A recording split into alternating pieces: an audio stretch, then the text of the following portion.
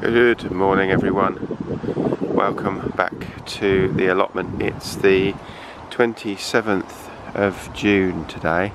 Um, I just stopped in to pick some uh, loganberries and just have a quick check of the plot um, and it's quite quiet so I thought I would do an allotment update. Um, just take you back up to the shed. I've been out uh, walking the dogs. Uh, they're helping to keep the grass down by the shed. Um, things are looking up. Um, in fact, it's probably over a month since I last did a, an update, and uh, we've had a lot of broad beans which are now over. It's that plot on the end corner there. I'll talk about that in a bit more detail in a minute, but I think pretty much now everything that uh, is supposed to be in the ground is in the ground um, I've still got a few things to sow, but um, we'll start uh, here with this is second sowing of beetroot um, and a something like third sowing of lettuce. But this is the only one that's actually germinated. I've had real problems getting lettuce to germinate directly sown this year. I don't know why. I'm not quite sure what's been going on, um, but it seems to be doing well. Um, and the beetroot next to it is doing well as well. Uh, this is the first sowing of beetroot which needs a really good weed as you can probably see. Um, haven't had anything off of this yet because uh, there's nothing there that's really big enough to eat. So um, hopefully in the next sort of week or so, otherwise I think the second sowing will catch the first sowing up. Um, got a mixture of squash, uh, courgettes, um, and gherkins here. The gherkins are growing up the this uh, pea and bean net. Um, previous years I've just let them scramble across the ground. I thought this year I would give them something to hold on to. Some of them seem to have taken to it rather well. Others are just doing their own thing, so they need just uh, pulling in and uh, helping find a climb. Um, you can probably see courgettes are flowering and just starting to produce fruit.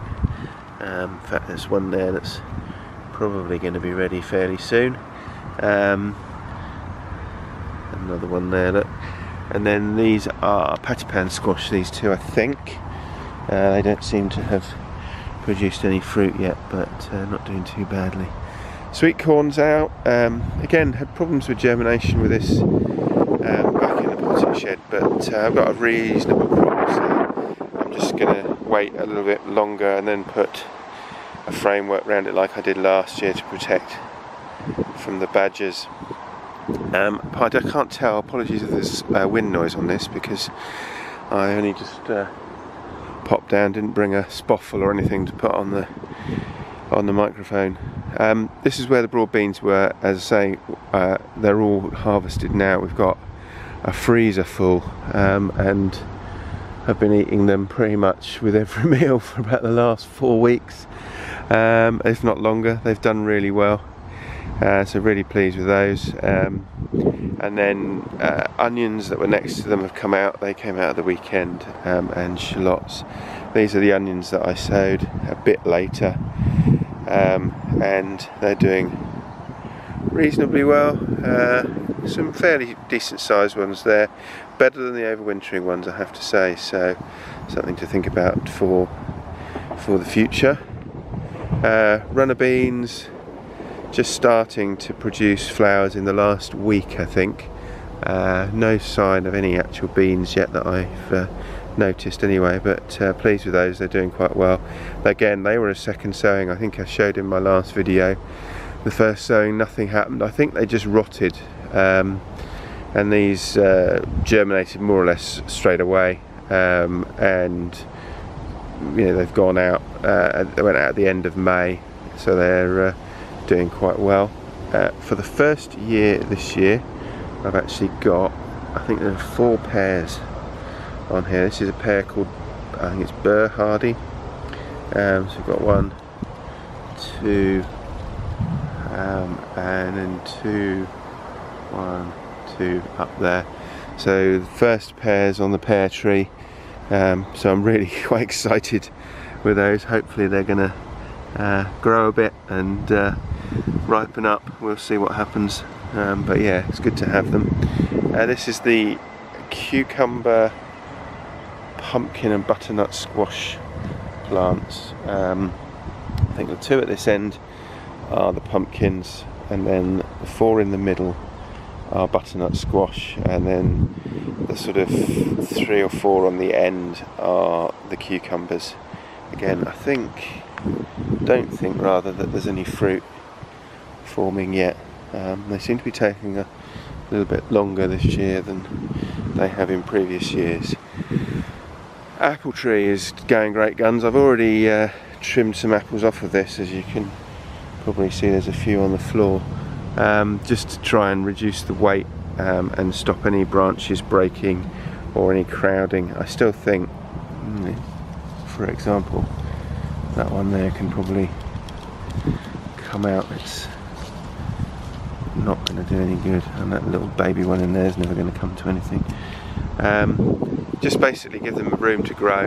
Um, this year I'm going to try and let them, because uh, I think I've said in previous years, it's a variety called Cobra which is a cross between a Cox and a Bramley. Um, the earlier you pick them, the closer they are to the Bramley.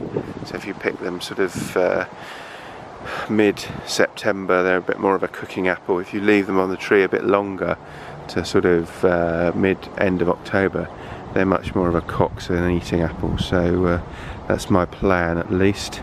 Um, then soft fruit, as I say, I've come down to pick some loganberries because as you can see, um, We've got loads at the moment. They're all all ripening up really nicely. Um, and then this year we've got um, good harvest of gooseberries. They're still going, think that's partly down to netting this year. I haven't netted for a couple of years, um, so. But as you can see, gooseberries and also um, black currants um, I don't know whether you can see the black currants in there or not. Um, where are we? Probably not. Uh, oh yeah, there you go. Top of the middle of the frame. So there's a good selection of black currants as well. Um, I'll try and make some um, either black currant jam or black currant jelly with those. Um, and then last but not least, potatoes. These are due I can harvest these any time really. Um, they've had their sort of growing period, um, but probably I'll wait until the weekend because I don't actually need any potatoes at the moment. Um, but I don't know that you can see, got uh, sunflower, one there, one in the middle there, uh, and one over in the end of that row. I'm going to leave them, try and see if I can uh, harvest the potatoes without disturbing them because I think certainly at least one of them, if not two of them, are um, growing in the middle of the um, of the earthed up row. So that might be uh, interesting. So I might stake them um, and then kind of harvest around them very carefully we'll see how we get on with that um, so although I can't enter them for Nick's allotment uh, sunflower challenge because I he, I didn't actually plant them. They're self-sown probably from last year. Um, I have at least got uh, three sunflowers on the plot, which I don't didn't plant any. Uh, I've got three here, and there's one at home in the garden that's I think come off of the the bird feeder. So yeah, and then finally um, in here, no, not finally, in here is uh, broccoli and cauliflower and some swede on the end of the swede uh, don't seem to be doing very well, which is about par for the course for me. I have real problems growing swede. I'm not sure why. Um, but the broccoli um, and the cauliflower doing quite well. No signs of any heads yet, but uh, we shall see. It needs a weed as well. And what really needs a weed, but I was waiting um, until the leeks which are in here. So you can probably see there's one there another one there and you can if you're very eagle-eyed you can probably pick out a few more but uh, oh hello want to be on camera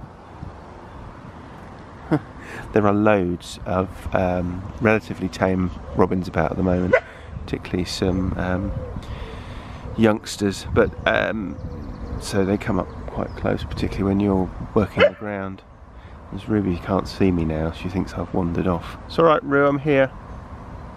Um, so yeah, the uh, Ruby. Shh. It's alright, good girl. Um, yeah, I put the leeks in, but they're a bit too small uh, to weed with any confidence that I wasn't actually pulling leeks out, but uh, they're big enough now, so that's the job for this weekend is to get in there and weed weed the leeks. Um, so yeah, that's about it for now. I'm going to go and harvest some of those loganberries and um, I'll tag a little bit on the end of this uh, look at the tomatoes and other things in, in the potting shed when I get home again. If you've been watching so far, thank you, um, and stay tuned for a little bit more. So, welcome to the potting shed. Um, as you can see, a little bit different to last time we were here. The bench is now down and folded away, and the overwintering plants are back in the garden. And we've got um, tomatoes, aubergines on on the uh, end there and a little um, trough of radish. The um, tomatoes are a, are a cordon type so it means I need to nip out the side shoots which I've been doing fairly regularly but obviously there's a few new ones there today. Um, uh, the they're a, sorry they're a variety called um, Romano which is a plum um, sort of regular sized plum tomato, not a like cherry plum. Um, and they've been out now two weeks, I think, in the troughs, so they're doing quite well. Um, really been kind of thriving in the in the warm weather, um, and just starting to see um, some flowers now. So uh, looking forward to to getting some of these not a variety I've grown before so not quite sure what to expect but um, yeah we'll we'll see how we go and uh, what happens. The aubergines I'm not quite sure what variety they are. Um, I just got them from a neighbour who had some spare plants so I don't know whether she's grown um, like mini ones before little mini aubergines, whether they're the same or whether they're sort of full size, we'll wait and see. And uh, hopefully we'll get some later in the year. And then the trough of radish is just an experiment. Um, radishes on the allotment don't seem to do very well, particularly if we have a lot of dry weather. So um, what I'm trying to do is, is, grow them in here where they get a, a watering every day, um, and then just see whether they do any better um, and we get some decent radish. The watering system I use is the same one I've used before, it's just um, old 2 litre pop bottles um, with one of these watering spikes on, so that's in the ground, and then um, the pop bottle screws into the top, it's got a thread that fits, and then you just fill the pop bottle and um, it discharges over the course of probably about two to five hours depending. Um, this one here which I have pretty sure filled this morning has already drained. So um, they vary depends on how wet the soil is. Ruby leave that. Good girl. She's found a bit of stone. Um, so they work quite well. Um, I've been experimenting this year in that I'm just using the watering in the morning. I used to do it in the evenings, um, but uh, just seeing if doing it in the mornings makes any difference. Um, the aubergines don't, I think guess because there's only two in the trough, need quite as much um, as the tomatoes where there's three plants to trough and they're obviously much bigger as well. So, Ruby, leave that, come on, good girl just finally to show you um, these are the overwintering onion sets um, and these are as you can see red onions some of a reasonable size um, some are a little bit smaller, and then shallots. I'm just drying these out so that I can um, clean them up a bit and get them into into store. But it gets quite warm in here, so uh, that's the the plan at least. So, as I said earlier, if you have been, thank you for watching, and uh, I'll speak to you again soon. I might go and see what Ruby's doing with that stone.